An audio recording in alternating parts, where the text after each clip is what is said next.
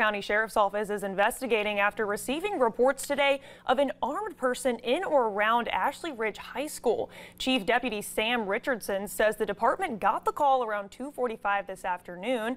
Now the Sheriff's Office, Summerville PD, and South Carolina Highway Patrol responded to the campus shortly after and began a search.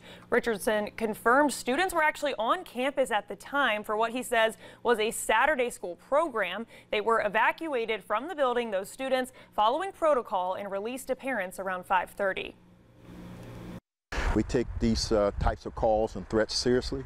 So, uh, you know, anyone that wants to do that, you know, to our schools and our children, we have no sympathy for, and we will, we will go after them and prosecute them. Now, this remains an active investigation with the Dorchester County Sheriff's Office.